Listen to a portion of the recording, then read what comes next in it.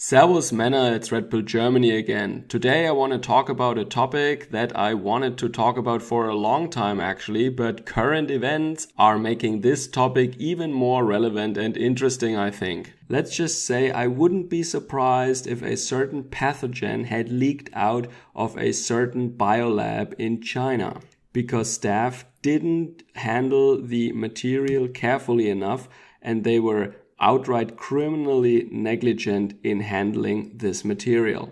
This is a topic that I have a lot of personal first-hand experience with, and it is how Chinese people, or more specifically, Chinese technicians, uh, researchers, and engineers are dealing with health and safety protocol. So whenever you are dealing with harmful substances, such as biological cells, tissues, or some chemicals, solvents, heavy metals, etc. But also if you operate equipment, uh, there can be electric danger and also optical danger from lamps or lasers. And of course, there are strict and very clear safety regulations for operating these materials and this equipment. Now, it is not only my impression, many, many colleagues share this opinion or they made these same experiences. And what I have seen in my time as a research scientist, but also as an engineer in the industry, is very, very clear. There is a very clear pattern that can be observed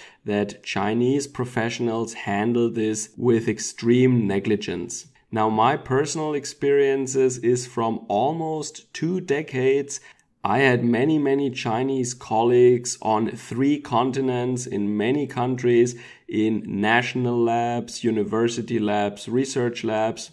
And also now, if you follow my channel, you know that professionally in the industry, I also have some ties to China now, where I experienced management, engineers, and also technicians deal with these questions. This is of course still anecdotal, but it is not one anecdote, it is a cluster of observations and anecdotes. And the observations were very clear, significant, and almost unchanged over a long stretch of time, over many, many continents in many different fields. So I want to give you some examples that are experiences, stories that I actually have witnessed firsthand.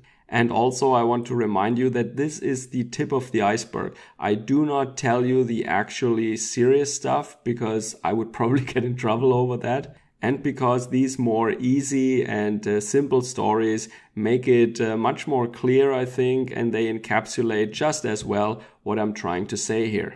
Let me start right away with an example.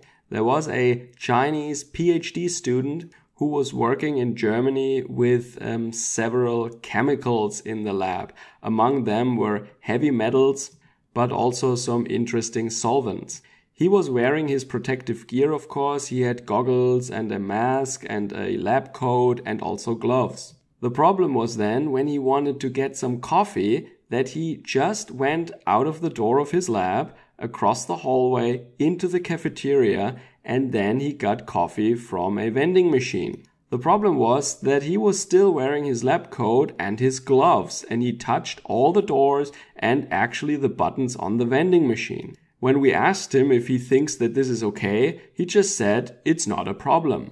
When his gloves were clearly full with the chemicals that he had just worked with. This is of course a harsh violation of lab protocol and should have actually resulted in him being removed from the lab and him losing his job immediately. Or at least if he does something like that again, which, let me tell you, he did. Of course, the research institution did do no such thing because they didn't want to get bad press. In the US, I experienced how Chinese PhD students as well as postdocs refused to use a fume hood when working with really, really nasty organic solvents. This in a confined area with no ventilation is a really, really big hazard to everybody in this room. Then in Germany, there was another incident where one of the Chinese researchers adamantly refused to label vessels with chemicals. That is, of course, a big no-no because you don't know what it is and then you also don't know how to dispose of this stuff again after the experiment is done or after that guy actually left the university. He was reprimanded and the only thing he did was not leaving these things out in the open, but he all put them in his locker. They were all still unlabeled, these vessels and these uh, flasks. And of course, other people had the task then to dispose of these chemicals and they didn't know what it was. And this is a highly, highly dangerous situation. So instead of just labeling his bottles, he just stored them in his locker and somebody else has to take care of the problem afterwards. So have I never seen other people do that? Of course I have seen other people do that as well. But let me tell you, I have never seen a group of people that consistently breaks lab protocol like mainland Chinese researchers.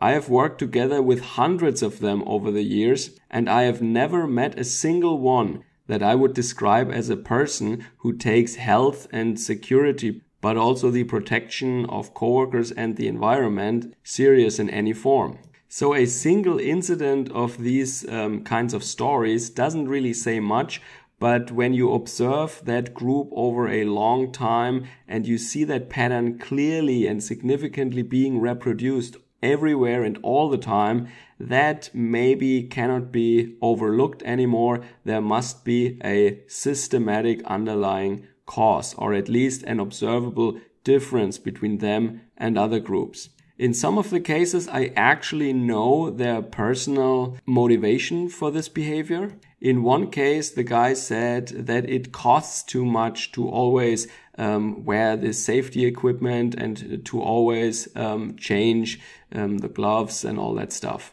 In another case, uh, one of the guys uh, just wanted to save time to get his experiments done faster so he can publish sooner.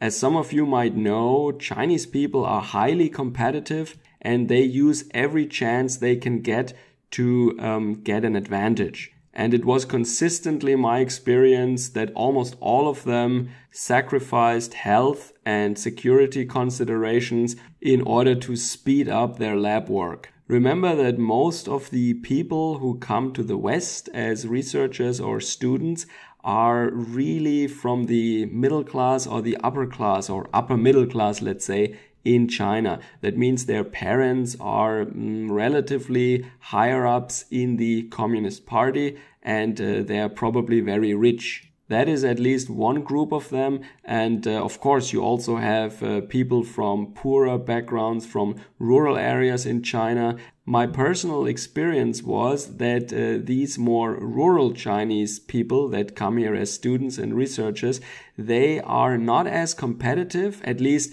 well, they, they want to do the best work that they can, but they are not trying um, any foul play in order to get ahead they struck me as a little bit clumsy and careless. So they probably did that stuff rather because they were annoyed or ignorant and not because they wanted to save time or actually do stuff that you're not supposed to do in the first place to get publishable results. And in the industry, I have seen, of course, very, very grave cases that would be violations in Germany and probably everywhere else where I have worked, but I don't really know what the situation is in mainland China, how the legal uh, background is here. Sure, they have briefings about these things, but I can't really tell if this is a legal requirement or if it's just a polite suggestion. So I have seen people welding without any protective equipment, of course without ventilation in close and confined areas. Then they were working at really substantial heights as far up as 5 meters above the ground without any harness or anything like that. And during the short duration of my stay, I even witnessed some very gruesome accidents that didn't have any consequences for management. I don't even know if they paid for the medication or the hospital care of the injured worker or if he gets any kind of benefits or any kind of pension when he's no longer uh, able to work. All I have seen is that they replaced the worker and they continued to work as if nothing had happened. This seems to be the Chinese system. So you can imagine, for example, that we did not really like to share a lab with Chinese people for exactly that reason, their working methods became a hazard to everybody in the whole department. And also in the industry, you always have to double check where they are and what they are doing if you do not want to have a workplace accident. Because they might just be playing with some buttons while you have your head inside of a machine. Or they're welding four meters above your head and you don't even notice it when you're busy dealing with something else. So these are my two cents. This is my cluster of anecdotes, my lived experience on this topic, so to speak. And let me remind you, this is not just my personal opinion. My colleagues that I've had over the years, they think about this exactly the same way. They observe the exact same stuff. And of course, while other people do these things too, it cannot be denied that there is a special quality to the negligence when dealing with dangerous materials or machines on the side of mainland Chinese technicians or researchers. Maybe this would stop if management didn't choose to ignore these things, or if management and administration here in the West would start enforcing our rules also for Chinese researchers, which in my experience was not always the case. They didn't say it out loud, but I'm pretty sure they were thinking, ah, what can you do, these foreigners? They are just like this. So, as I said, I wouldn't be surprised if the global crisis that we see at the moment was actually caused by a research scientist in that biolab in China not paying attention, ignoring security protocol, and leaking a deadly pathogen to the outside world from where the Chinese government helped to spread it all around the world. This is just a hypothesis at the moment. I just wanted to say I wouldn't be surprised. Big shout out to all my subscribers and supporters. Like, share, and subscribe. If you like my material and you want to see more of that, please consider making a donation via PayPal or supporting me via Patreon or Subscribestar. Stay safe wherever you are. Don't panic. And as always, Servus, Kameraden.